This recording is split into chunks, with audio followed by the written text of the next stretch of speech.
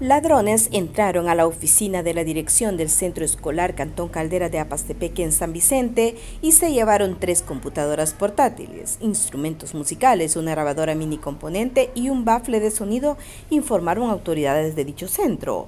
Los delincuentes quebraron la duralita y cortaron los barrotes de protección del techo y para salir con lo hurtado, forzaron la puerta que tenía doble llave así como el balcón.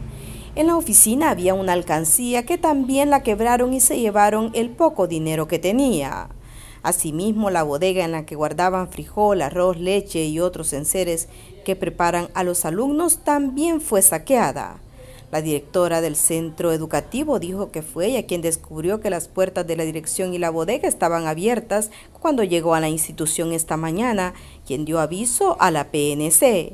Las clases de hoy fueron suspendidas.